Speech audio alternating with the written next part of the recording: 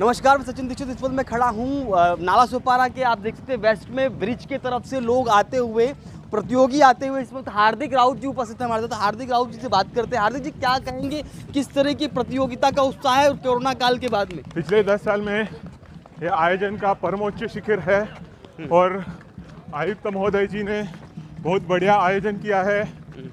Base camp जहाँ से start होता है वो स्टार्ट कैंप पूरी तरीके से मेडिकल बेस कैंप पे फिजियोथेरेपिस्ट सब अच्छी तरीके से है।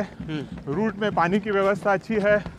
डिहाइड्रेशन किसी को नहीं हो रहा है और वेदर भी अच्छा है। आपको दौड़ते वक्त क्या लगा क्योंकि एथलेटिक्स के सामने ये समस्या हमेशा रहती है? किसी को समस्या नहीं है। मुंबई मैराथन से अच्छा आयोजन है सबका ये कहना है। मेरा ही नहीं बाकी सबका भी इंटरव्यू लीजिए। वो आपको सेम बताएँगे। ओपनिंग के समय खुद विधायक जी वहाँ पे थे।